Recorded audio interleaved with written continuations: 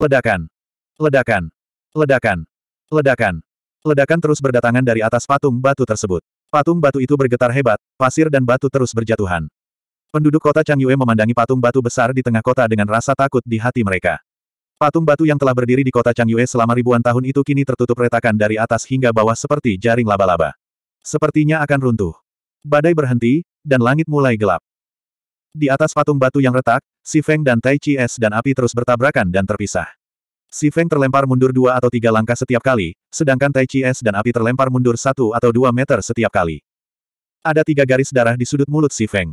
Namun, semakin dia bertarung, dia jadinya semakin gila. Dia tertawa dan berteriak, dua bajingan tua, datang lagi. Aku tidak percaya aku tidak bisa membunuhmu. Begitu dia berteriak, Si Feng mengangkat pedangnya lagi. Ledakan. Ledakan lain terjadi antara langit dan bumi. Si Feng dan Tai Chi Es dan api dipukul mundur sekali lagi. Dasar mesum, berhentilah main-main. Tidak masalah jika kamu mati, tapi kamu akan menyeretku ke bawah bersamamu. Api suci di tubuh Si Feng meraung, setiap serangan seni bela diri Anda menghabiskan banyak energi. Jika Anda terus seperti ini, Anda akan kehabisan energi dan cepat atau lambat terbunuh. Anda dan saya adalah satu sekarang. Saat kamu mati, kamu akan menyeretku ke bawah bersamamu. Diam, Si Feng berteriak, apakah menurutmu kedua bajingan tua itu lebih baik dariku? Si Feng berkata dan bergegas membawa pedangnya lagi. Ledakan. Ledakan. Ledakan. Ledakan. Suara gemuruh terus terdengar.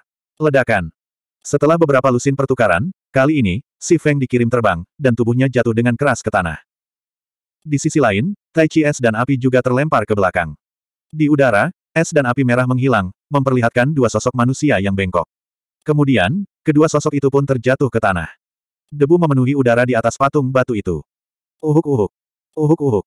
Utusan Yin Yang yang awalnya perkasa, mendominasi, dan agung kini menjadi acak-acakan. Jubah mereka compang camping, dan tubuh mereka berlumuran darah dan debu. Mereka tampak seperti dua pengemis tua yang kotor. Debu yang memenuhi udara menyebabkan kedua lelaki tua itu terbatuk-batuk tak henti-hentinya. Tubuh utusan yang bergetar, tubuh bagian atasnya perlahan bangkit dari tanah, dan dia memandang utusan Yin di sampingnya. Yin tua, kamu, apa kabar? Suaranya lemah dan serak, seperti suara orang tua yang sedang sakit.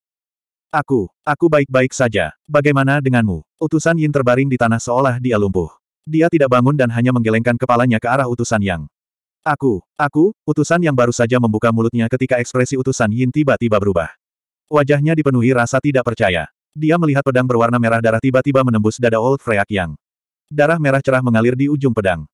Tubuh utusan yang bergerak-gerak ketika dia perlahan-lahan memutar kepalanya. Matanya terbuka lebar ketika dia melihat wajah muda yang dingin dan tanpa emosi. Seketika, kesadarannya surut dari pikirannya seperti air pasang. Namun, matanya masih terbuka lebar, membuktikan bahwa dia meninggal dengan penyesalan. Setelah menembus Old Freyak Yang, Si Feng tampaknya telah menggunakan seluruh kekuatannya. Dia kelelahan dan tubuhnya lemas saat jatuh ke tanah. Yang, Old Yang, ah, Yin tua aneh menjerit. Suaranya sedih seperti suara roh jahat. Anda akan mati dengan kematian yang mengerikan. Si tua aneh Yin tidak tahu dari mana dia mendapatkan kekuatan itu. Dia meraung seolah dia sudah gila. Tangannya berusaha merangkak menuju Si Feng. Lalu, dia mengangkat tangannya lagi. Rambutnya berantakan dan wajahnya kotor. Wajahnya garang, dan dia benar-benar terlihat seperti roh jahat. Sembilan. Bawah. Bawah. Gong. Melahap. Itu. Itu. Dari. Kekuatan. Si Feng bergumam pelan. Zheng Yu mulai mengoperasikan Nether Art miliknya. Begitu dia selesai berbicara, Tangan Old Freyak Yin telah mencengkeram tenggorokannya. Si tua aneh Yin menarik napas dalam-dalam. Dia mengertakkan gigi dan menggunakan kekuatan terakhirnya untuk mencekik si Feng sampai mati. Aku akan melahap darah dan dagingmu untuk membalaskan dendam yang tua. Si tua aneh Yin meraung dengan ganas. Dia membuka mulutnya dan menggigit hidung si Feng. Ledakan. Seluruh kota Blue Moon tiba-tiba meletus dengan suara gemuruh yang menggelegar. Di wilayah tengah, patung batu raksasa yang berdiri tegak di kota Blue Moon selama ribuan tahun akhirnya diambang kehancuran. Itu hancur dengan suara keras. Patung batu itu akhirnya roboh. Apakah ini sudah berakhir? Di pavilion di puncak gunung di luar kota Blue Moon, Long Chen melihat ke pusat kota Blue Moon dan bergumam. Pada saat patung batu itu runtuh, dia melihat Si Feng dan dua lainnya jatuh. Di tengah perjalanan, mereka dihantam banyak batu dan akhirnya terkubur di reruntuhan. Patung batu yang berdiri di Blue Moon City selama ribuan tahun telah menjadi masa lalu. Pertempuran yang belum pernah terjadi sebelumnya hari ini juga sudah berlalu. Sayang sekali, bakat generasi ini telah jatuh seperti ini. Zhao Long, yang berada di samping Long Chen, menghela nafas. Berdiri di puncak gunung, dengan penglihatannya sebagai prajurit spiritual bela diri, dia secara alami melihat apa yang baru saja terjadi. Si Feng dan Old Freyak Yin telah kehabisan kekuatan utama mereka dan terluka parah. Setelah jatuh dari langit, mereka terkubur oleh batu-batu besar. Pada saat ini, bahkan tulang mereka pun tidak tersisa. Sayang sekali, Long Chen juga menghela nafas. Si Feng telah berjanji untuk membantunya memperjuangkan tahta di masa depan. Ketika dia menemukan Kaisar Xiao Yao, dia bahkan bersedia meminta Kaisar Xiao Yao untuk membantunya sekali. Setelah melihat berbagai metode ampuh Si Feng, Long Chen yakin bahwa Si Feng adalah penerus Kaisar Yu. Sungguh disayangkan Si Feng mati seperti ini. Ayo pergi. Long Chen berbalik dan hendak meninggalkan puncak gunung. Tunggu, Yang Mulia. Sepertinya ada gerakan di sana. Saat Long Chen berbalik, Zhao Long tiba-tiba berteriak kaget. Hem, mendengar teriakan Zhang Hu, Long Chen berbalik dan melihat kembali ke kota Blue Moon. Di tengah reruntuhan, bebatuan di sana tampak sedikit bergetar. Untungnya, Zhao Long juga fokus pada reruntuhan, jadi dia menyadarinya. Apakah benar ada seseorang yang selamat? Melihat adegan ini, Long Chen tidak bisa menahan diri untuk tidak berseru, mengapa seperti ini? Bukankah mereka semua menggunakan kekuatan utama mereka? Apalagi mereka terluka parah. Bahkan jika mereka tidak mati, mereka seharusnya dihancurkan sampai mati. Bahkan jika mereka tidak dihancurkan sampai mati, mereka seharusnya tidak memiliki kekuatan untuk membuat batu sebesar itu berguncang. Yang mulia, menurut Anda siapa yang selamat? Zhang Hu memandang Long Chen dan bertanya. Long Chen juga berbalik dan memandang Zhang Hu. Keduanya sepertinya sudah melihat jawaban dari mata satu sama lain. Mungkinkah orang mesum sialan ini benar-benar abadi? Bang! Di reruntuhan, tiba-tiba terjadi ledakan. Sesosok muda melesat keluar dari reruntuhan dan akhirnya mendarat di atas batu besar di reruntuhan. 52. Blue Moon City sekali lagi gempar. Utusan Yin yang dari Sekte Tianfeng, penegak hukum yang mengendalikan hidup dan mati orang, telah mati. Dan orang yang membunuh mereka adalah pemuda yang muncul entah dari mana akhir-akhir ini. Dia membunuh kusir keluarga Hai, alkemis peringkat dua dari Sekte Tianfeng, semua prajurit keluarga Hai, dan kepala keluarga Hai, Hai Batian. Sekarang, dia telah membunuh utusan Yin yang dari Sekte Tianfeng. Dia hanyalah dewa kematian. Hanya dalam beberapa hari, pemuda seperti itu telah menjungkir balikan seluruh kota Blue Moon. Orang-orang melihat sosok muda yang berdiri di reruntuhan dari jauh dan merasakan hawa dingin merambat di punggung mereka. Ada total empat murid master bela diri puncak dari Sekte Tianfeng yang mengikuti utusan Yin yang ke kota Blue Moon. Salah satunya dibunuh oleh Si Feng dalam satu gerakan. Tiga murid yang tersisa telah melihat kekuatan utusan Yin yang di atas patung batu tadi. Dalam hati mereka, utusan Yin yang tidak terkalahkan di kota kecil ini. Sekarang mereka melihat utusan Yin Yang yang kuat dari jauh dan berubah menjadi dua mayat kering di tangan seorang pemuda, mereka bertiga dengan cepat melarikan diri. Penduduk kota Blue Moon tiba-tiba menyadari keseriusan masalah ini saat ini. Dua penegak hukum dari Sekte Tianfeng telah tewas di kota Blue Moon. Ini tidak diragukan lagi merupakan bencana kehancuran bagi kota Azure Moon. Lari, kenapa kamu masih berdiri di sini? Seseorang berteriak, tiga orang dari Sekte Tianfeng telah meninggal di kota bulan biru kita.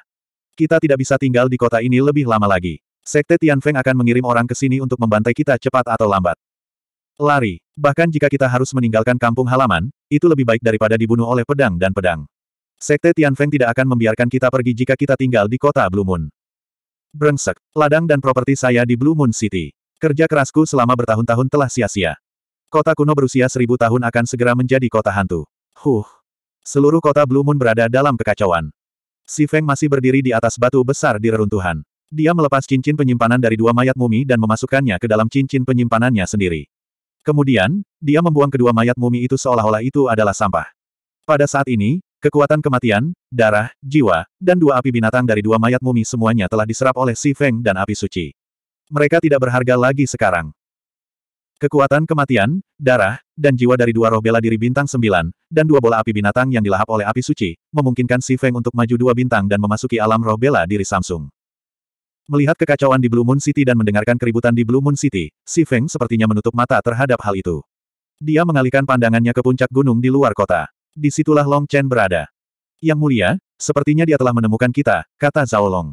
Tapi itu aneh. Bukankah kekuatan esensinya habis dan terluka parah? Mengapa sepertinya tidak terjadi apa-apa padanya? Sebaliknya, saya merasa auranya lebih kuat dari sebelumnya. Long Chen menggelengkan kepalanya dan berkata, kita tidak bisa menggunakan akal sehat untuk menilai orang abnormal seperti ini di masa depan. Ayo pergi. Dilihat dari penampilannya, dia pasti ingin menanyakan sesuatu padaku. Kata Long Chen, berbalik dan berjalan menuruni gunung. Zhao Long melirik Si Feng dengan tatapan ragu dan mengikuti Long Chen. Ketika sosok Long Chen menghilang dari pandangan Si Feng, Si Feng sedikit mengangkat kepalanya dan berteriak, keluar. Anda tidak berani bergerak sekarang. Sekarang kamu tidak punya kesempatan.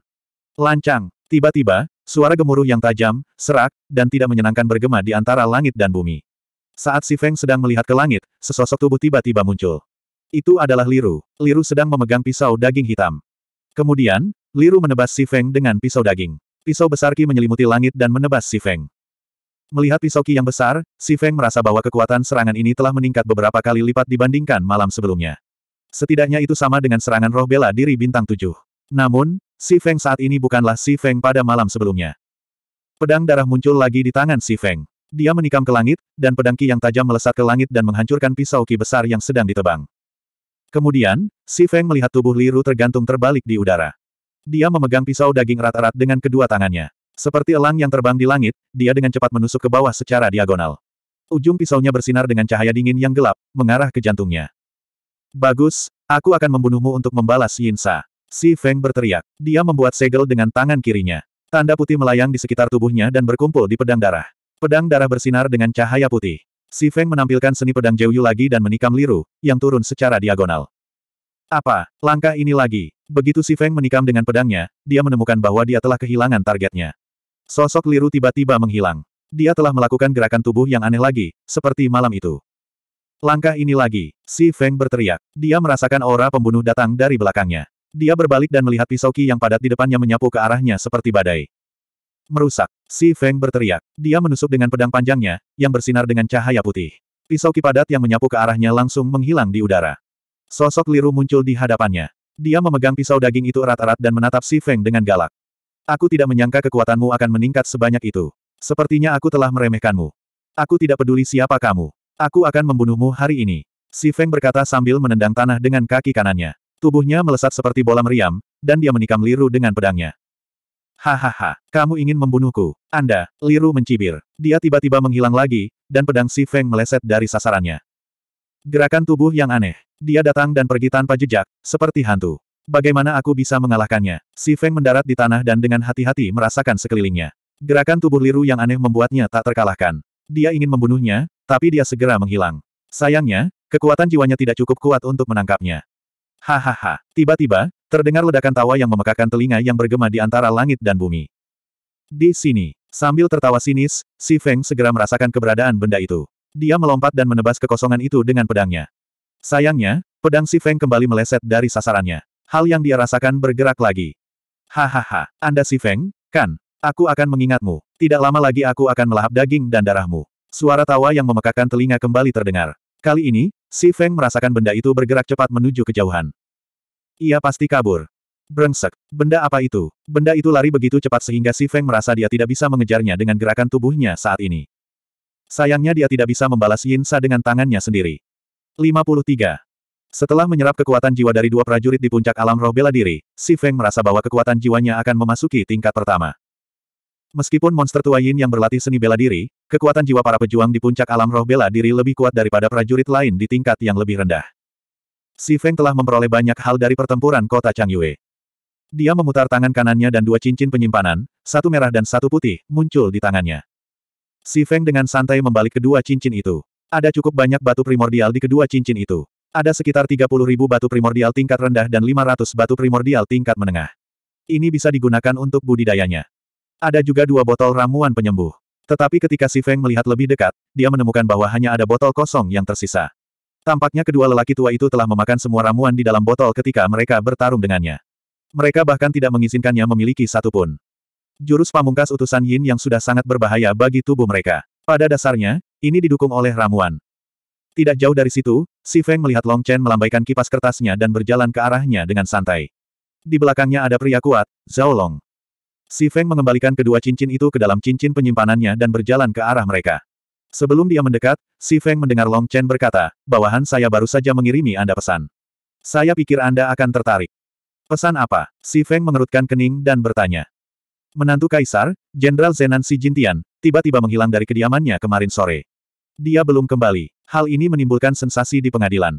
Kata Long Chen. Setelah itu, dia mulai memperhatikan ekspresi Si Feng. Ekspresi Si Feng tidak berubah. Dia berkata, bantu saya melanjutkan penyelidikan. Jika dia masih hidup, saya ingin melihatnya. Jika dia sudah mati, saya ingin melihat mayatnya. Nada bicara Si Feng keras dan mendominasi. Meskipun dia menggunakan kata, tolong, dia masih menggunakan nada memerintah pada Long Chen. Long Chen tersenyum pahit dalam pikirannya, tapi dia sudah terbiasa dengan sikap Si Feng. Saya sudah mengirim Shadow nomor satu ke nomor delapan. Saya akan memberitahu Anda segera setelah saya mendengar sesuatu. Si Feng mengangguk dan kemudian bertanya, apakah kamu sudah menyelesaikan masalah adikku dan ibuku? Kamu tidak perlu khawatir tentang itu. Malam itu, Aku sudah mengirim seseorang untuk mengendarai elang bersayap hijau berkepala ganda ke kediamanku di kota kekaisaran. Malam itu, mereka tiba dengan selamat. Orang-orangku akan menjaganya dengan baik. Dan lindungi mereka. Hanya saja ibumu belum bangun. Kata Long Chen. Mendengar kata-kata Long Chen, Si Feng menghela nafas dalam hatinya. Tampaknya simpul hati ibunya tak bisa dilepaskan. Tidak mudah baginya untuk bangun. Dia hanya bisa menunggu sampai kekuatan jiwanya cukup kuat untuk memasuki jiwa ibunya dan melihat apakah dia bisa melepaskan ikatan di hatinya.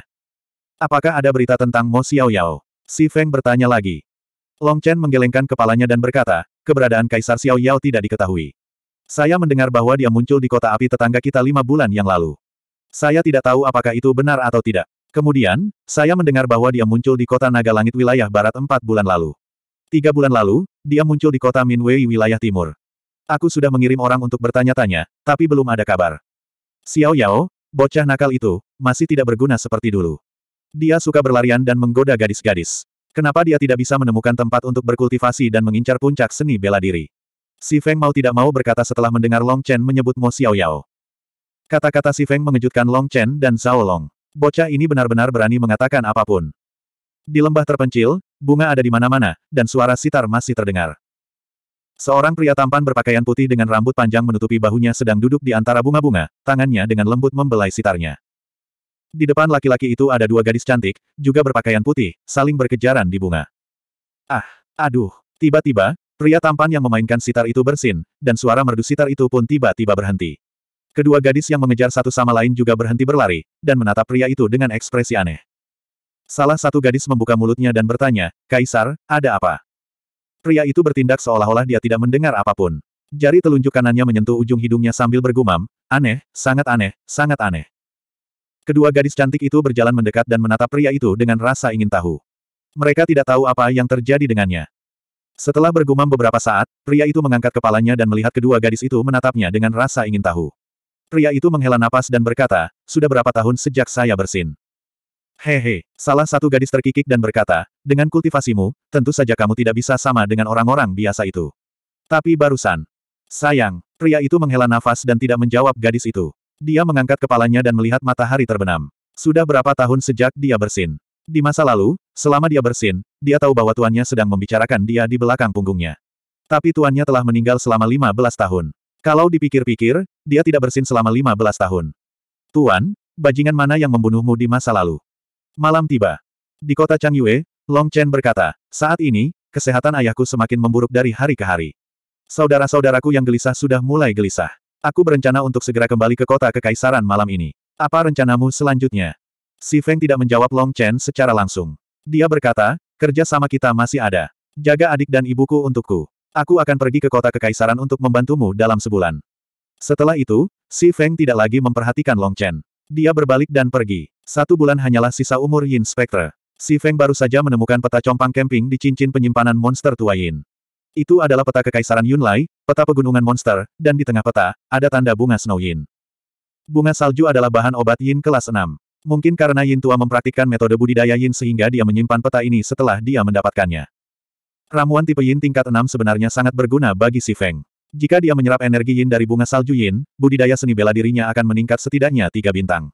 Namun, Hantu Yin lebih membutuhkannya daripada dirinya saat ini karena khasiat obat bunga salju Yin memiliki khasiat penyembuhan yang ajaib, terutama untuk makhluk hidup tipe Yin.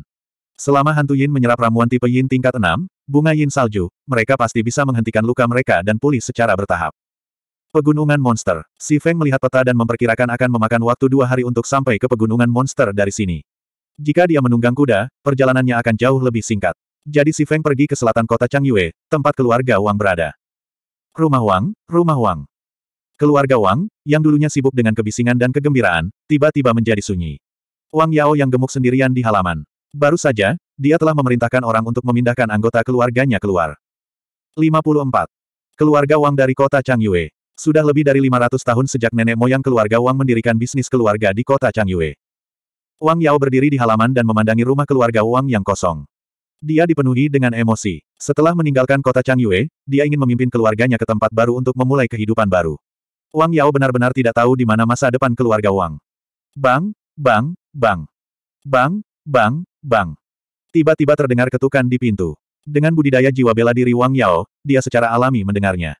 Namun, Wang Yao berpura-pura tidak mendengarnya. Dia mengira pasti ada orang bebal yang meninggalkan sesuatu di rumah dan kembali mengambilnya.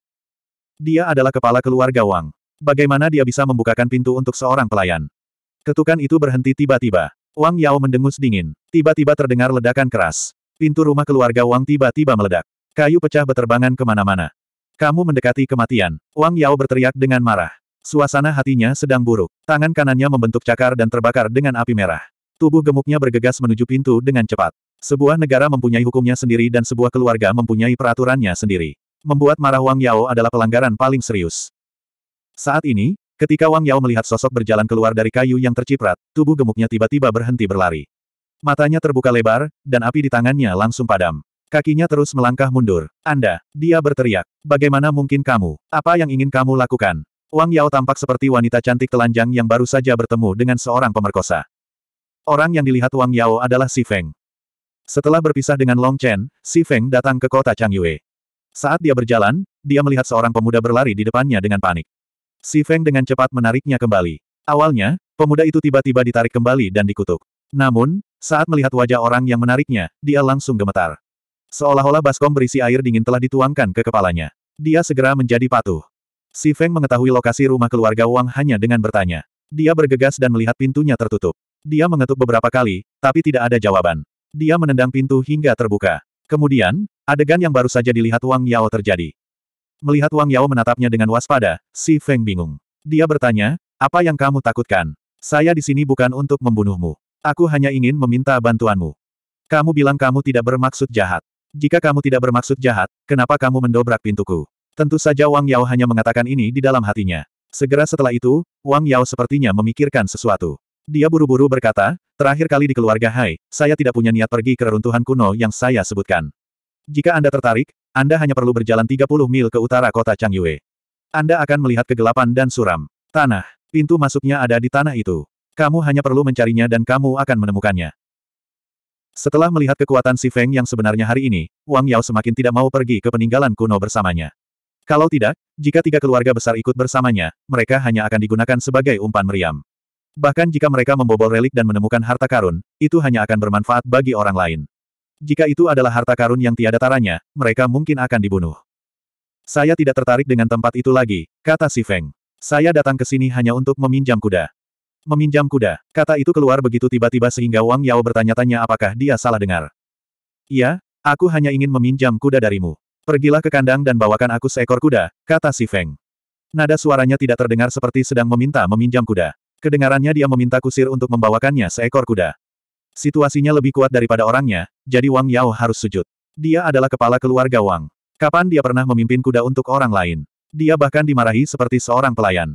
Namun, Wang Yao harus memimpin kudanya. Orang di depannya adalah seorang pembunuh.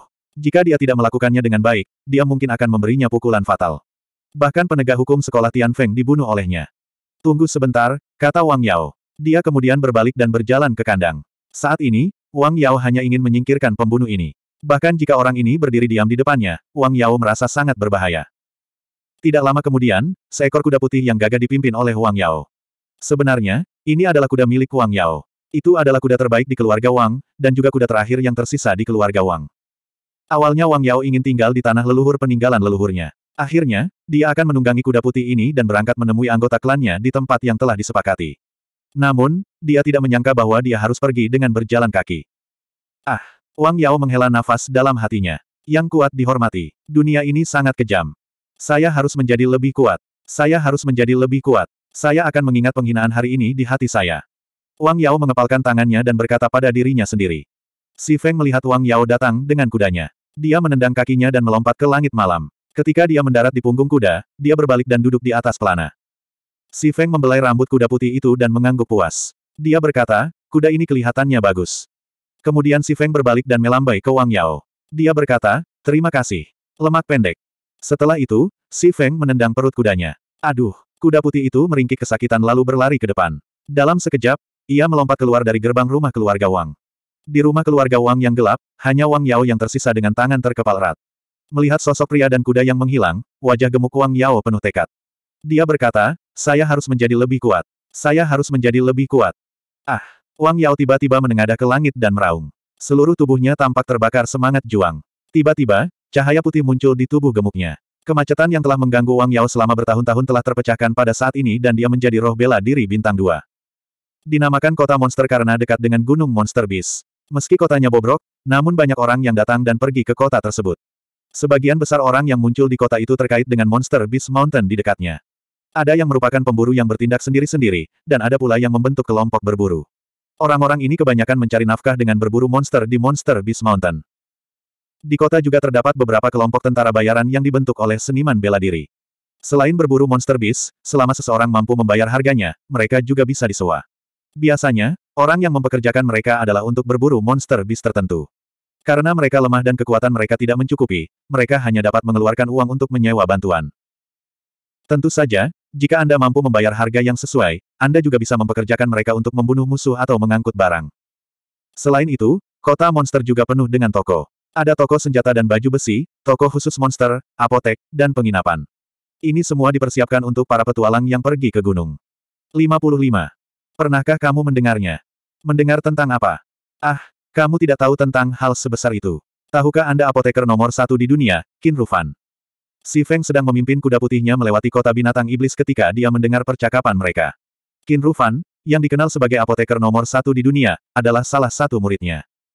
Qin Rufan, tentu saja aku mengenalnya. Dia adalah salah satu dari tujuh murid Kaisar Yu. Siapa yang tidak mengenalnya di benua Tianheng? Melihatmu, apakah Tuan Besar Qin datang ke kota binatang iblis kita? Pria itu tiba-tiba menjadi bersemangat dan berteriak. Ketujuh murid Kaisar Jeoyu semuanya adalah tokoh terkenal di benua Tianheng. Siapa yang tidak ingin melihat mereka beraksi? Jika saya bisa melihat guru besar Qin beraksi, saya akan mati tanpa penyesalan. Pria yang baru saja berteriak berkata dengan penuh semangat. Apoteker juga merupakan profesi khusus di benua Tianheng. Banyak orang yang tidak memahami profesi ini akan mengasosiasikan apoteker dengan alkemis yang memurnikan pil. Faktanya, di benua Tianheng, hampir semua apoteker ingin menjadi pemurni misterius yang terhormat. Namun, tanpa bakat untuk memurnikan, sangat sulit untuk menjadi pemurni misterius. Siapa pun yang bisa memahami jalur pemurnian dan menjadi pemurni misterius adalah satu dari sejuta orang jenius. Inilah sebabnya mengapa status seorang pemurni misterius sangat dihargai. Sama seperti kota Changyue, terdapat ratusan ribu orang, tetapi hanya tiga orang yang benar-benar melangkah ke bidang alkimia dan menjadi alkemis tingkat satu. Ini menunjukkan betapa sulitnya seni alkimia. Di benua Tianheng, setiap apoteker memiliki identitas yang sama, alkemis magang. Setiap apoteker bekerja keras untuk menjadi seorang alkemis yang terhormat. Namun, seorang magang hanyalah seorang magang. Mereka hanya bisa meramu obat, tapi mereka tidak bisa mengandalkan metode pemurnian magis seperti pemurni misterius untuk memurnikan pil ajaib. Sebelum memasuki alam pemurnian misterius, akan selalu ada perbedaan antara langit dan bumi.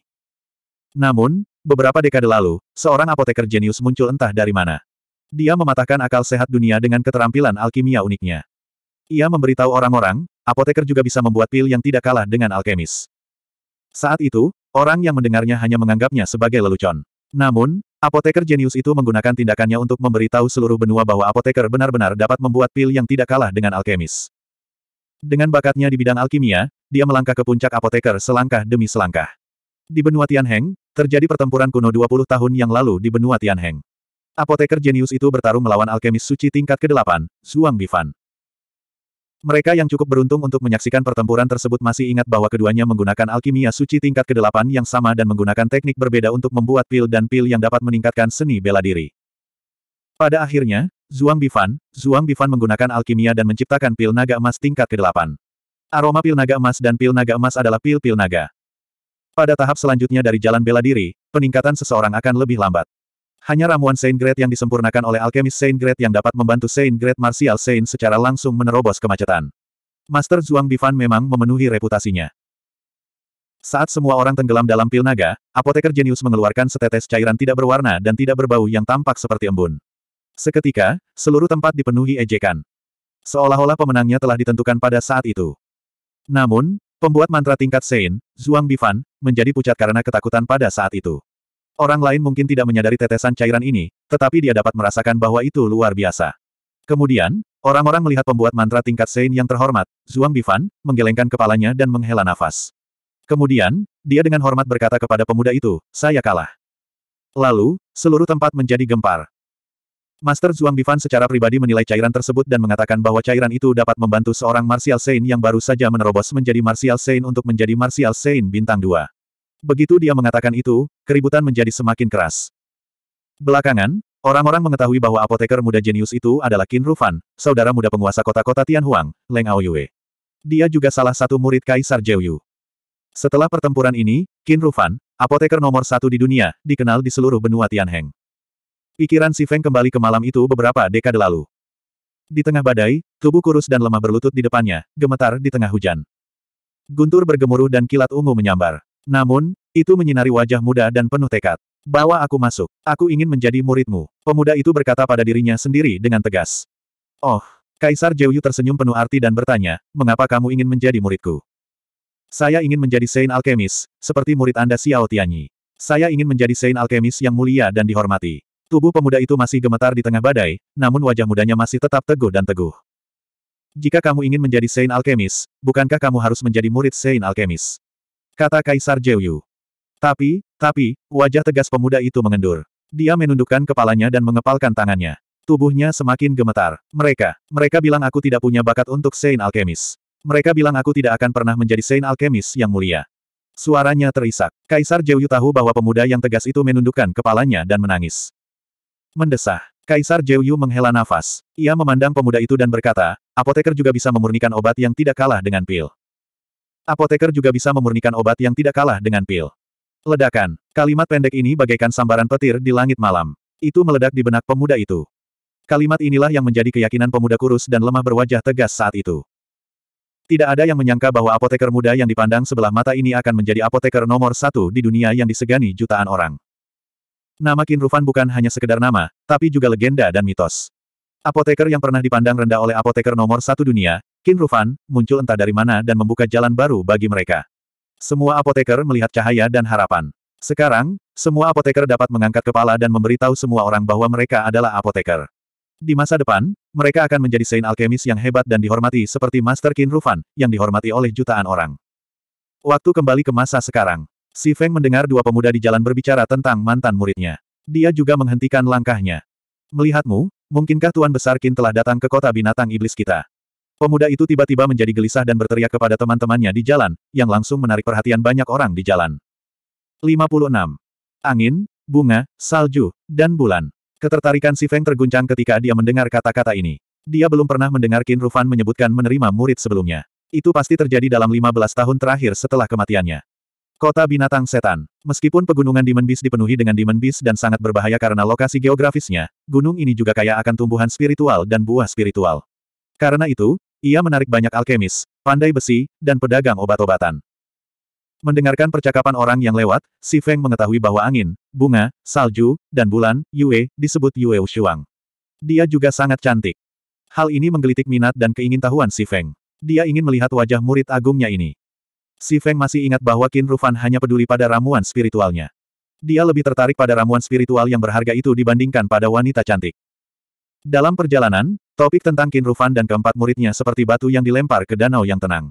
Semakin banyak orang berkumpul dan mendiskusikannya. Si Feng juga mendengar banyak cerita tentang murid-muridnya selama bertahun-tahun. Akan sangat bagus jika Tuan Qin Rufan datang ke kota binatang iblis. Dengan bakatku, dia pasti akan menyukaiku dan menganggapku sebagai muridnya. Of, kamu, Guru Qin hanya menerima empat murid setelah bertahun-tahun. Siapakah di antara mereka yang bukan merupakan satu dari satu miliar orang jenius? Seseorang membalas. Saya mendengar bahwa Yue Xianzi datang ke kota Monster Beast kami kali ini untuk mendapatkan pengobatan spiritual di pegunungan Monster Beast. Jenis ramuan spiritual apa itu? Mengapa Yue Xianzi datang ke sini secara pribadi? Kami belum memiliki informasi akurat. Namun, saya mendengar bahwa Yue Xianzi sudah mulai merekrut seniman bela diri di Cool Gang. Siapa pun yang berada di atas level master bela diri dapat melamar. Aku harus pergi sekarang. Dengan kultivasi dan bakatku, selama aku pamer di depan Yue Xianzi di pegunungan Demon Beast, Yue Xianzi mungkin akan jatuh cinta padaku pada pandangan pertama. Seorang pemuda berwajah malang berkata dan lari seolah-olah dia sedang melarikan diri. Hahaha, siapa lagi selain aku yang bisa menjadi kekasih Yue Xianzi? Pria kekar lainnya menengadah ke langit dan tertawa terbahak-bahak, memamerkan otot-ototnya yang menonjol dan tubuhnya yang kuat. Kemudian, dia bergegas menuju Cool Breeze Ayo, kita lihat juga. Untuk bisa melihat wajah cantik Peri Yue, aku tidak punya penyesalan lagi dalam hidupku. Si Feng melihat sekeliling dan melihat kerumunan 20 hingga 30 orang berkumpul di sini karena Qin Rufan dan Yue Xianxi. Kemudian, kerumunan mulai berkerumun menuju Kul Brisin. Si Feng ada di antara mereka. Tiba-tiba, Si Feng merasakan seseorang menarik lengannya. Dia mengerutkan kening dan mengungkapkan ekspresi tidak senang. Dia menoleh dan melihat seorang pemuda berjubah hijau. Dia memiliki penampilan yang agak tampan dan seumuran dengan Si Feng. Dia tersenyum pada Si Feng, dan matanya menyipit. Apa yang salah? Si Feng mengerutkan kening dan bertanya. Hehe kakak, kenapa kamu memasang wajah serius seperti itu? Kita semua berada di perahu yang sama. Kami tahu apa yang ada di pikiran masing-masing. Pemuda itu mengangkat alisnya seolah mengatakan, kamu tahu, kepada Si Feng. Kamu terlalu banyak berpikir, kata Si Feng. Kemudian, dia menepis tangan pemuda itu, berbalik, dan terus berjalan bersama orang banyak. Hei saudara, Si Feng baru mengambil beberapa langkah ketika pemuda itu menyusulnya lagi. Hei, hei, saudaraku, jangan terburu-buru. Biarkan aku menyelesaikannya dulu. Aku punya informasi eksklusif tentang peri Yue Shuang. Saat pemuda itu berbicara, Si Feng melihatnya mengeluarkan sebuah buku. Di sampulnya tertulis, Sial, dia bahkan punya ini. Si Feng terkejut. Hehe, pemuda itu melihat ekspresi Si Feng dan terus tertawa. Hehe, bagaimana menurutmu, saudara? Apakah Anda tergoda? Dengan bantuan manual rahasia ini, semuanya akan menjadi sempurna. Saat pemuda itu berbicara, dia mengeluarkan buku lain. Bagaimana menurutmu? Jika Anda masih merasa ada yang hilang, saya akan menambahkan yang ini. Kemudian, dia mengeluarkan buku lain, menuju dunia batin Peri Yue, memahami emosi Peri Yue. Si Feng terdiam. Pemuda ini benar-benar bisa memikirkan apa saja. Bagaimana menurutmu, saudaraku? Apakah kamu tergoda? Hehe, bagaimana dengan ini? Saya melihat bahwa kita ditakdirkan. Ketiga buku ini jika digabungkan akan bernilai satu koin emas. Saya memberikannya kepada Anda secara gratis. Koin emas adalah mata uang umum di benua Tianheng. Selain koin emas, ada juga koin perak dan koin tembaga. Satu koin emas bernilai 10 koin perak, dan satu koin perak bernilai 100 koin tembaga. Rata-rata warga menghabiskan sekitar 30 hingga 40 koin tembaga sehari. Oleh karena itu, satu koin emas cukup untuk hidup rata-rata warga negara selama sekitar satu bulan. Kamu cukup pandai menghasilkan uang, kata si Feng. Tapi aku tidak tertarik dengan ini. Kamu harus mencari orang lain. Haha kakak, kamu memang pandai bercanda. Bagaimana kalau begini, aku akan memberimu diskon. Kalau kamu memberiku kuda ini, kamu bisa memiliki ketiga buku itu. Bagaimana menurutmu? Pemuda itu melanjutkan. Jika kamu menyukai kudamu, kamu dapat mengambilnya, kata si Feng, dan kemudian menyerahkan kendali kepada pemuda itu. Karena mereka sudah sampai di tempat tujuan, kuda itu tidak diperlukan lagi. Terlebih lagi, mereka berada di pegunungan binatang iblis. Mereka bisa saja kembali dan mengambil binatang iblis terbang. Kalau begitu, itu kesepakatan. Pria muda itu berkata dengan gembira, dan mengambil kendali dari si Feng. Kemudian, dia memasukkan ketiga buku itu ke tangan si Feng. Tiga buku ini, Si Feng ingin mengembalikan tiga, buku ilahi, kepadanya, tetapi pemuda itu telah menerobos kerumunan dengan kuda putihnya. Melihat Si Feng menatapnya, dia mengedipkan mata pada Si Feng dan berkata, anak muda pemberani, semoga kamu sukses. Si Feng berbalik dan melihat ketiga buku dewa di tangannya. Dia tersenyum tak berdaya. Dengar, kita sudah sampai. Itu Kulbris Gang, tapi sepertinya kita terlambat. Seseorang di antara kerumunan itu berteriak. Ah, sudah banyak sekali orang yang datang ke sini. Berapa lama lagi kita akan mengantri? Yue, Yue Xianxi, aku melihat Yue Xianxi. Saya tidak menyesal dalam hidup ini. Si Feng sedikit mengangkat kepalanya dan melihat ke depan. Ada sebuah bangunan kuno yang tampak segar dan elegan dengan sebuah plakat bertuliskan, Geng Angin Dingin, yang tergantung di atasnya. Di bawah plakat itu, berdiri seorang peri berpakaian putih. Dia tampak segar dan halus, seolah-olah dia telah turun ke dunia fana. Wajahnya yang lembut bagaikan mahakarya surga yang paling indah. Kulitnya seputih salju, dan kedua matanya yang besar sepertinya mampu berbicara. Mereka penuh dengan spiritualitas ketika berkedip. Dua puncak di depan dadanya sepertinya akan keluar dari pakaiannya. Sabuk putih melingkari pinggang rampingnya, memamerkan sosok sempurnanya kepada orang banyak. Ini sungguh keindahan yang sempurna. Melihatnya, para pria mau tidak mau ingin naik dan memeluknya, dan mencintainya dengan lembut. Murid Qin Rufan cukup cantik. Mungkinkah setelah bertahun-tahun tidak bertemu dengannya, dia berubah? Melihat Yue Xianzi cantik di depannya, si Feng bergumam, dia pasti dipengaruhi oleh Xiao Yao saat aku tidak ada. 57. Diam, Semuanya diam. Pada saat ini, seorang lelaki tua menaiki tangga dan berdiri di samping Yue Xianxi. Saat dia berbicara, dia memberi isyarat agar semua orang diam. Begitu suara lelaki tua itu turun, ratusan orang di kerumunan itu tiba-tiba terdiam. Melihat ini, lelaki tua itu mengangguk puas, terbatuk lembut, dan kemudian melanjutkan, saya pikir semua orang tahu tujuan kunjungan Peri Yue ke kota binatang iblis. Iya, banyak orang yang merespons secara serempak. Bagus, kalau begitu aku tidak akan membahas detailnya. Orang tua itu mengangguk dan berkata, kalau begitu, mari kita mulai perekrutan sekarang. Master bela diri mana pun dapat mendaftar dan menerima 500 batu primordial tingkat rendah. Jika ada ahli alam roh bela diri yang bersedia pergi, mereka dapat menerima 1.500 batu primordial. 500 jelas bukan jumlah yang kecil untuk seorang master bela diri. Kita harus tahu bahwa keluarga Hai telah bertanggung jawab atas distrik utara kota Azure Moon selama bertahun-tahun, dan Si Feng hanya menjarah 5.000 batu primal dari perbendaharaan keluarga Hai. Oleh karena itu, 1.500 batu primal bukanlah jumlah yang kecil bagi seorang ahli martial master atau martial spirit realm. Hanya orang aneh seperti Si Feng yang mengembangkan seni dunia bawah Zhou Yu yang tidak mampu membelinya. Jika semua orang menganggap itu tidak ada gunanya, mari kita mulai perekrutan. Saat lelaki tua itu berbicara, dia menunjuk kedua pria muda berpakaian pelayan di bawah tangga. Salah satu pemuda memegang bola kristal transparan di tangannya, sedangkan pemuda lainnya memegang meja kayu persegi di depannya. Dia duduk di belakang meja kayu dengan sebuah buku di atas meja dan kuas di tangannya. Bola kristal digunakan untuk menguji budidaya seorang kultivator. Setelah lulus ujian, pemuda lainnya akan mencatat nama mereka. Aku pergi dulu. Seorang pria bertubuh besar berteriak, untuk melindungi Yue Xianxi, saya bersedia melakukannya meskipun saya tidak memiliki setengah batu roh. Setelah lelaki besar itu selesai berbicara, dia berjalan menuju pemuda yang memegang bola kristal. Penjaga toko Ye, terima kasih banyak. Melihat perekrutan berjalan dengan tertib, Yue Wushuang menoleh dan membungkuk sedikit kepada lelaki tua itu, mengucapkan terima kasih dengan lembut. Orang tua bermarga Ye adalah penjaga toko di Breeze Inn. Melihat Yue Wushuang berterima kasih padanya, penjaga toko Ye segera melambaikan tangannya dan berkata, kamu terlalu sopan, Yue Xianxi. Saat aku sekarat, Tuan Besar Qin kebetulan melewati kota binatang dan menyelamatkan hidupku. Kamu tidak perlu melakukannya terima kasih padaku. Beberapa orang di depan Si Feng sangat gembira, sementara yang lain sedih. Awalnya, beberapa orang yang belum mencapai ranah master bela diri ingin mencoba peruntungan. Mungkin keberuntungan mereka akan meledak, dan ketika tiba giliran mereka, akan ada masalah dengan bola kristal tersebut. Namun, kenyataan selalu kejam. Yang lemah menjadi mangsa yang kuat, dan yang lebih rendah tersingkir. Oleh itu, tiba-tiba, sepertinya ada getaran. Kemudian, suara serbuan binatang buas terdengar dari jauh. Semua orang menoleh untuk melihat ke arah suara itu. Ke arah jalan, awan debu bergulung ke arah mereka. Seseorang di antara kerumunan itu tiba-tiba berteriak, ini. Itu adalah kelompok tentara bayaran serigala iblis. Di tengah debu yang bergulung, samar-samar terlihat beberapa serigala iblis berlari di depan. Di atas serigala iblis, yang setinggi lembu dan berwajah garang, duduklah seorang manusia kultivator berjubah hitam.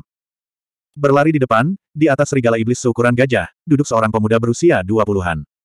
Itu adalah Hesuan, komandan muda dari kelompok tentara bayaran serigala iblis. Beberapa orang di antara kerumunan itu berteriak. Melihat kedatangan kelompok tentara bayaran serigala iblis, kerumunan menjadi gempar, berdiskusi dan berteriak. Kelompok tentara bayaran serigala iblis adalah kelompok tentara bayaran terbesar di kota binatang iblis kita.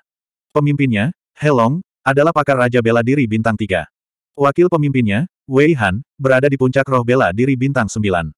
Aku mendengar bahwa dia akan memasuki alam Raja Bela Diri. Dan pemimpin muda mereka, Hesuan, juga seorang jenius muda dengan bakat luar biasa. Saya mendengar bahwa dia baru berusia 22 tahun, tetapi dia sudah menjadi roh bela diri bintang tiga pakar. Apa yang dilakukan kelompok tentara bayaran serigala iblis di sini? Mungkinkah mereka juga ada di sini untuk Yue Xianxi? Itu sangat mungkin. Ku dengar Hesuan ini pada dasarnya penuh nafsu. Dalam beberapa tahun terakhir, siapa yang tahu berapa banyak wanita muda dan cantik yang telah dia rampok di binatang iblis? Orang seperti ini, Hicks. Dia benar-benar masyarakat musuh kita, para pria. Tapi Yue Xianxi adalah murid guru Qin Rufan. Apakah dia berani mengingini Yue Xianxi? Bukankah dia takut hidupnya akan lebih buruk dari kematian dan seluruh keluarganya akan musnah? Pernahkah kamu mendengar bahwa ada pisau di atas karakter nafsu? Untuk wanita cantik seperti Yue Xianxi, berapa banyak pria di dunia yang mampu menahan kegelisahan hati mereka? Saat asap dan debu yang mengepul semakin mendekat, kerumunan yang memenuhi jalan itu semua berpindah ke pinggir jalan untuk memberi jalan. Tiba-tiba jalanan menjadi sepi, dan kerumunan di kedua sisi jalan semakin ramai, terutama di depan Cool Breeze Restaurant. Kerumunan mulai mendorong dan mendorong. Asap dan debu yang mengepul tiba dalam sekejap mata. Batuk-batuk, batuk-batuk, banyak orang di antara kerumunan itu terbatuk-batuk dengan keras, tetapi di depan kelompok tentara bayaran serigala iblis, mereka hanya bisa menahannya. Meski marah, mereka tidak berani angkat bicara. Ketika asap dan debu menghilang, sekelompok seniman bela diri yang menunggangi serigala iblis tinggi terungkap. Total ada sebelas orang, sebelas serigala iblis. Kesebelas seniman bela diri ini tidak beranjak dari tunggangannya, tetapi samar-samar orang bisa merasakan aura kekerasan dan pembunuhan yang memancar dari tubuh mereka. Pemimpin kelompok itu adalah tuan muda kelompok tentara bayaran serigala setan, Hesuan. Dia tinggi dan kokoh, dan wajahnya dingin dan tegas. Dia memiliki bekas luka berbentuk salib yang ganas di sisi kanan wajahnya. Dengan kedatangan kelompok tentara bayaran serigala iblis, jalan yang awalnya berisik tiba-tiba menjadi sangat sunyi. Banyak orang bahkan tidak berani bernapas dengan keras, dan suasana tiba-tiba menjadi sangat menindas. Sudut mulut Hesuan melengkung menjadi senyuman dingin. Dia menoleh ke arah Kulbrisin dan menatap lurus ke arah Yue Wushuang yang berada di tangga.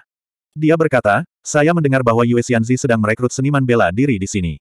Yang ini tidak berbakat, tapi saya memimpin saudara tentara bayaran saya ke sini untuk melamar pekerjaan dan mendapatkan beberapa batu vitalitas. Saya harap Yue Xianzi tidak keberatan. Ekspresi Yue Wushuang tidak berubah. Wajahnya masih dingin ketika dia berkata, siapa pun yang telah lulus ujian dan yang budidaya bela dirinya telah mencapai alam master bela diri dapat bergabung. Hahaha, bagus. Hesuan mendengarnya dan tertawa keras. Tubuhnya bergerak, dan dia melompat turun dari serigala iblis. Tubuhnya yang tinggi dan kokoh mendarat di tanah. Ledakan. Tanah bergemuruh, dan orang-orang merasa tanah di bawah kaki mereka bergetar. Pada saat ini, orang dapat melihat dengan jelas bahwa tubuh Hesuan tingginya sekitar 2 meter, seperti burung bangau di tengah kawanan ayam. Karena ini adalah aturan yang ditetapkan oleh Yue Xianxi, maka orang ini harus mematuhinya apa pun yang terjadi. 58. Hesuan mencibir dengan jijik ketika dia melihat orang banyak tahu apa yang baik untuknya. Dengan kepala terangkat tinggi dan dada membusung, dia berjalan menuju pelayan yang memegang bola kristal di Kulbris Gang.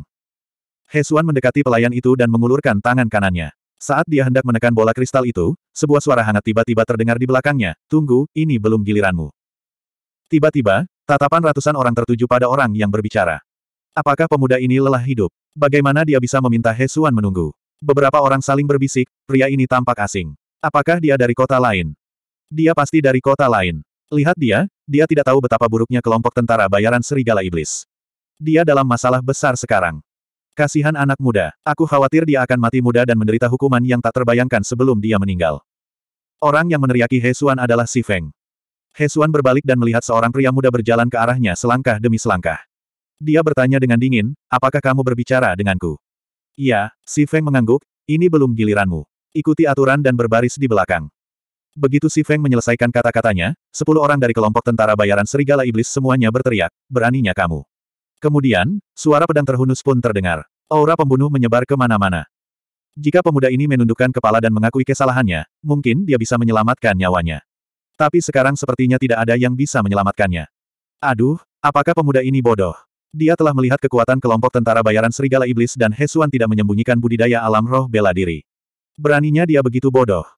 Saya kira dia adalah tuan muda dari suatu keluarga yang terbiasa mengamuk di wilayahnya sendiri. Dia tidak tahu betapa berbahayanya dunia luar. Sekarang kita punya pertunjukan bagus untuk ditonton. Aturan. Mendengar kata, aturan, Hesuan tertawa seolah baru saja mendengar lelucon paling lucu di dunia. Dia berkata, beraninya kamu berbicara tentang peraturan dengan saya. Setelah mengatakan itu, Hesuan melepaskan aura tak terlihatnya dan menekan si Feng. Di mata Hesuan, anak di depannya hanyalah seorang master bela diri bintang satu. Dia tidak memiliki perlawanan sedikit pun di depannya. Di bawah tekanan aura Samsung Martial Spirit miliknya, itu cukup membuat kakinya menjadi lunak, seluruh tubuhnya gemetar, dan dia tidak bisa bernapas. Tidak hanya Hesuan, tetapi semua orang yang hadir sudah berpikir demikian, karena budidaya seni bela diri Si Feng berada pada level master bela diri bintang satu di mata orang lain. Berhenti. Tepat pada saat ini, Yue Wushuang yang memiliki ekspresi dingin di wajahnya tiba-tiba berbicara. Oh, Hesuan mendengar suara Yue Wushuang dan menarik kembali auranya. Dia menoleh untuk melihat Yue Wushuang dan berkata, apakah Yue Xianzi ingin melindungi orang ini? Karena akulah yang merekrut prajurit, tentu saja aku punya aturan sendiri. Orang ini benar. Jika kamu ingin melamar, kamu harus mengikuti aturanku. Kata Yue Wushuang. Tiba-tiba, Yue Wushuang menyipitkan matanya dan ekspresi jijik muncul di wajahnya. Dia secara tidak sengaja melirik ketiga buku di tangan Si Feng tadi. Buku di atas memiliki tulisan, Yue Xianzi, di sampulnya. Sial, Si Feng secara alami menyadari perubahan ekspresi Yue Wushuang.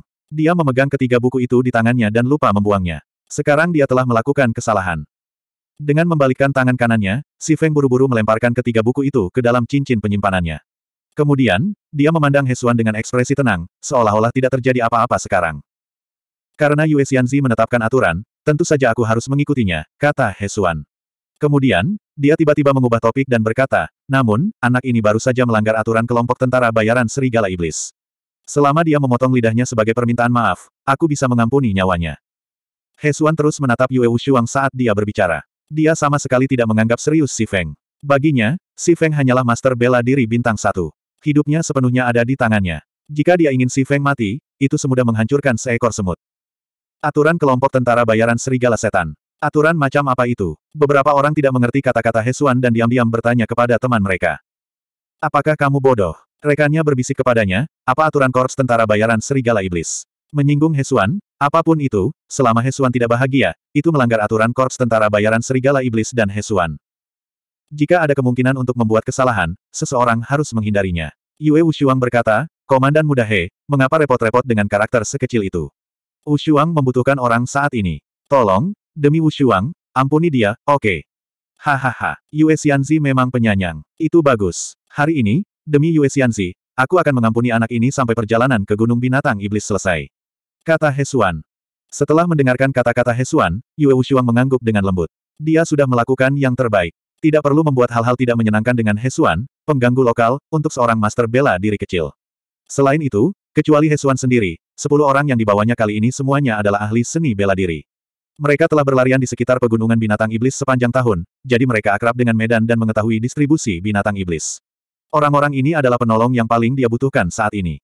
Yue Wushuang menghabiskan lebih dari setengah hari untuk merekrut. Dia juga memperhatikan bahwa ada banyak master bela diri, tetapi Hesuan adalah satu-satunya pejuang realem martial spirit.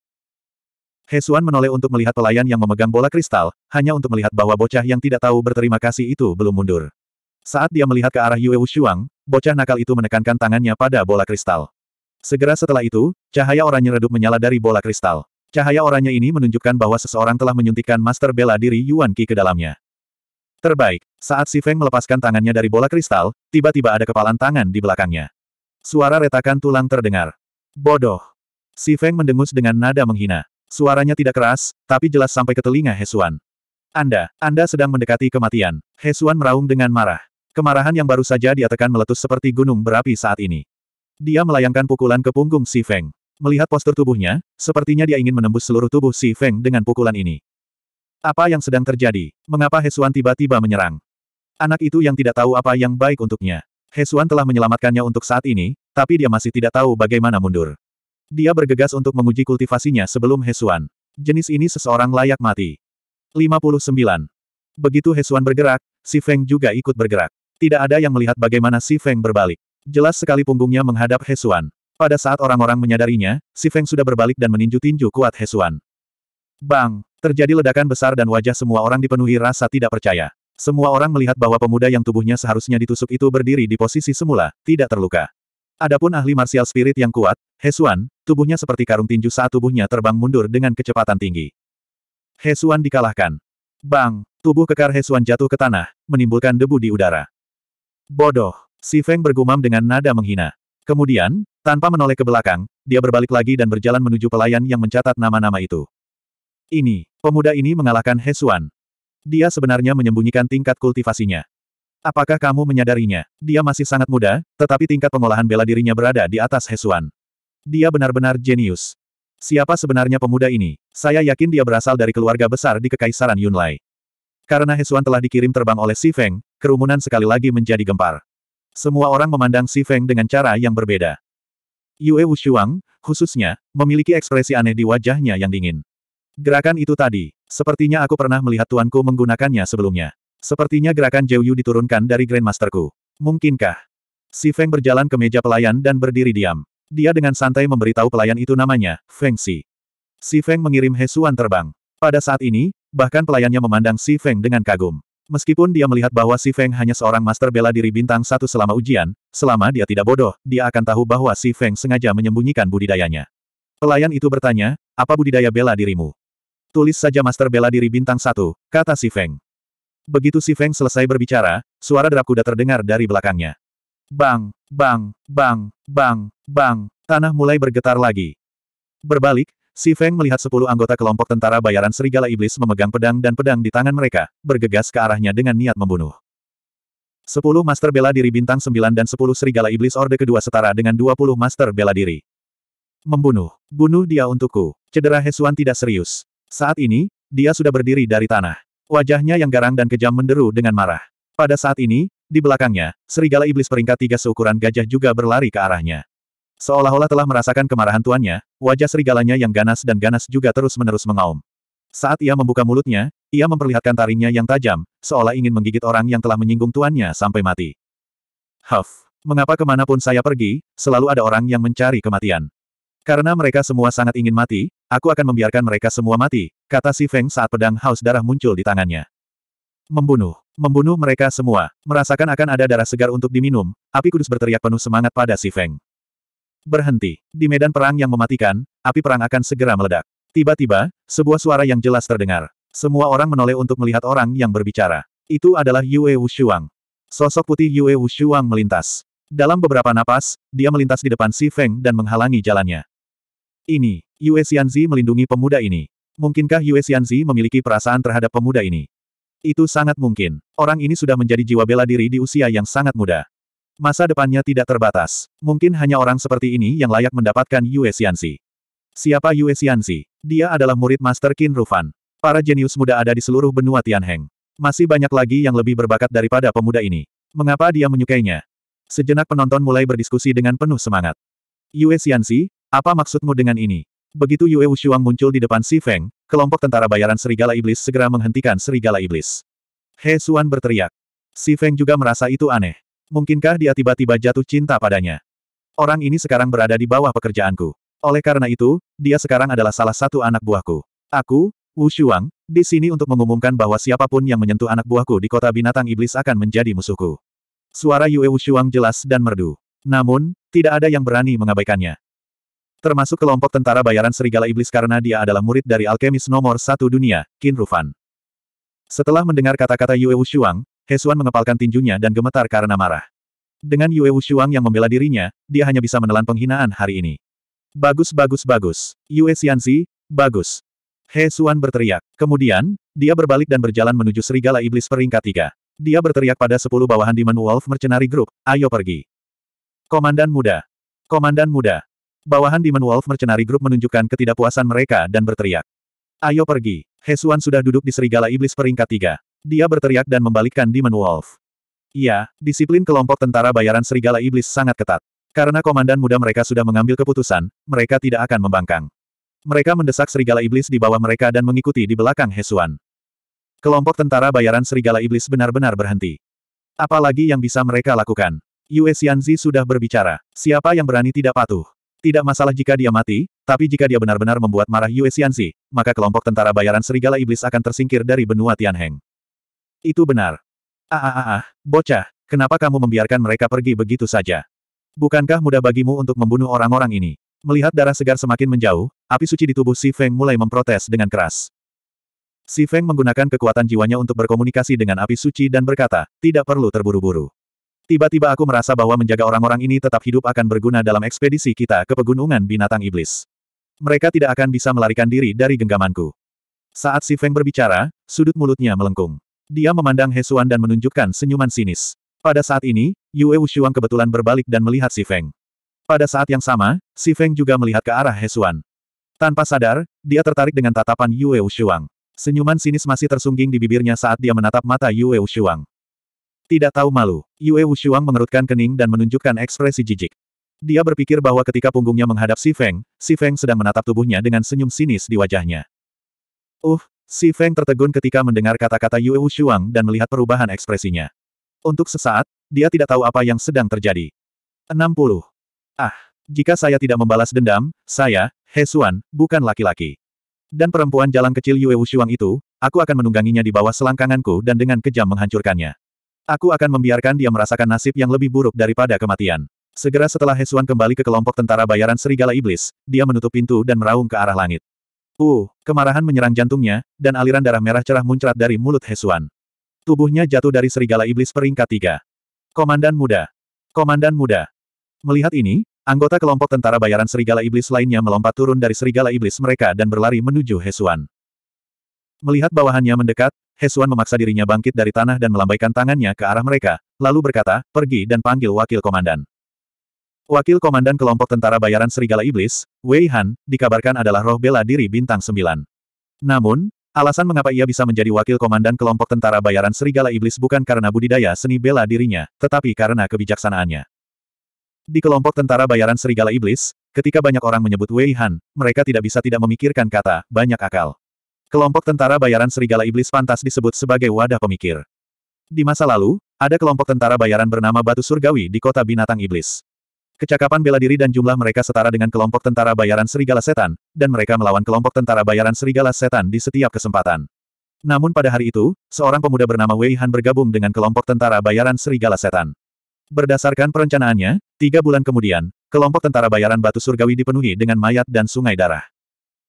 Tidak lama kemudian, dua bawahan kelompok tentara bayaran serigala iblis membawa seorang pemuda berpakaian hijau. Dia tampak halus dan terpelajar. Wakil Komandan. Bahkan jika Hesuan adalah putra Komandan Helong, yang biasanya kejam dan melakukan segala jenis kejahatan, ketika dia melihat Wakil Komandan Wei Han, dia menahan keganasannya yang biasa dan dengan hormat memanggil Wei Han, Wakil Komandan. Ulurkan tanganmu. Wei Han melihat darah di sudut mulut Hesuan dan sedikit mengernyit. Dia mendatangi Hesuan dan mengulurkan tangan untuk meraih pergelangan tangannya.